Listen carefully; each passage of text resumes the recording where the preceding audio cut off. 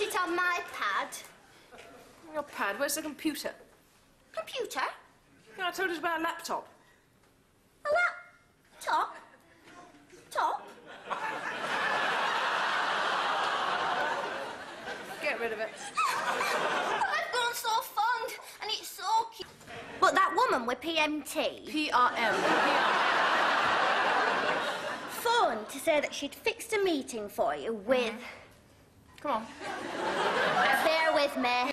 Great. I'm gonna have to sack you, okay? Right. I shall endeavour to transcribe it onto my pad, photocopy it, and file it for future reference.